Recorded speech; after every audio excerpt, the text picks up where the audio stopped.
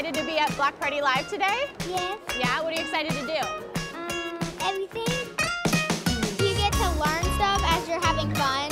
This is amazing. We put on the event along with the community partners for families. We love Rootle! We love Luca. Block Party Live is so fun because you feel the energy of the community coming together to celebrate our children, our youth, and with the characters, you see their faces light up. They want to learn. It's just authentic, fun, hands-on learning and love.